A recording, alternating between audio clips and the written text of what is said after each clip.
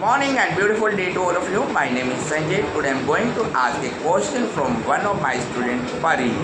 So Pari, tell me the full form of OMR. Optical Mark Reader. Okay, that's good.